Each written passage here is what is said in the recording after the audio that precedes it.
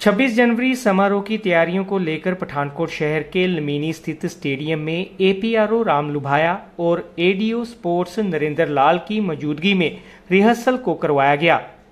इस मौके पर पठानकोट शहर के अलग अलग स्कूली विद्यार्थियों और पंजाब पुलिस के जवानों द्वारा रिहर्सल को किया गया।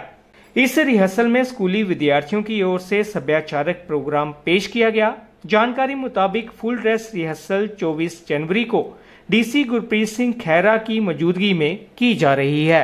विक्टोरिया स्टेट पठानकोट में खुल गया है डिस्काउंट वेयर हाउस शोरूम, जहाँ पर आपको मिलेंगे branded shoes, electronic items, home and kitchen appliances वो भी 50 प्रतिशत डिस्काउंट पर। So what are you waiting for come to discount warehouse best price anywhere defence road Victoria state Pathankot.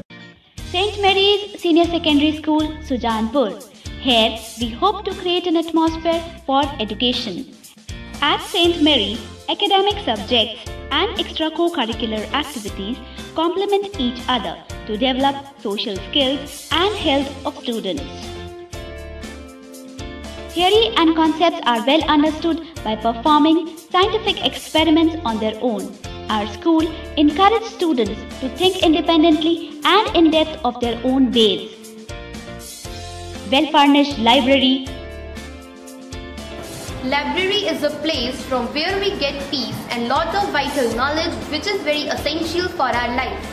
high-tech computer lab, language lab for English proficiency. St. Mary's Senior Secondary School, Kalachak Road, Sujanpur, District Pathankot, affiliated to CBSE, New Delhi. For admissions, call 0186 2244 9876 660625 855 8835 275